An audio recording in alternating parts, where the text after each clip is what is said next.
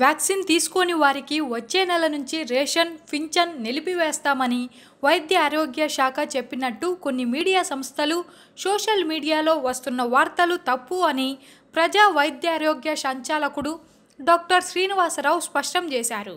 ప్రభుత్వం అలాంటి నిర్ణయం తీసుకోలేదని ప్రజలు అసత్య ప్రచారాలు నమ్మవద్దని ఆందోళనకు గురి కావద్దని ఆయన కోరారు. తప్పుడు వార్తలను ప్రసారం చేస్తే కఠిన చర్యలు తప్పవని హెచ్చరించారు.